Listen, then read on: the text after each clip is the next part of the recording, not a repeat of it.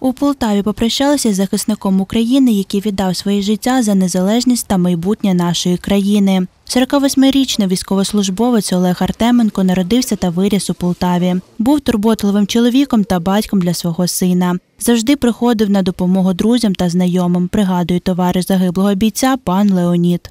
Він служив, сім'я, все, все для сім'ї робив, все те саме. Дуже хороша людина. Він е, був е, офіцер, е, це служив, первим заступником був. Все життя він прислужив. Дуже хороша людина, допомагав усім, всім, чим міг. До повномасштабного вторгнення Олег проходив службу на керівних посадах кримінально-виконавчій службі Державної пенітенціарної служби України. Вже з квітня 2024 року вступив до лав Збройних сил України. Служив на посаді головного сержанта стрілецької спеціалізованої роти, розповідає друг дитинства полеглого бійця Владислав.